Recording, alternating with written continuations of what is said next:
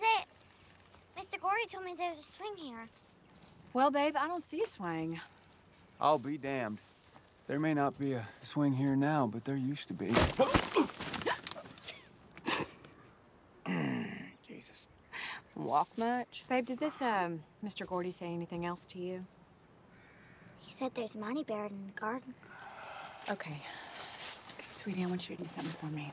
How much money? If this Mr. Gordy ever comes up to you again, I want you to scream as loud as you can. You understand me?